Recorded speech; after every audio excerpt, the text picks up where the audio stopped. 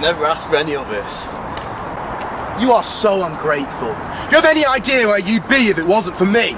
You've murdered people. I'm a construct of your mind. I did what you couldn't. Face it, you wanted those people dead just as much as I did! Just as guilty as I am! You're just as much a killer as me!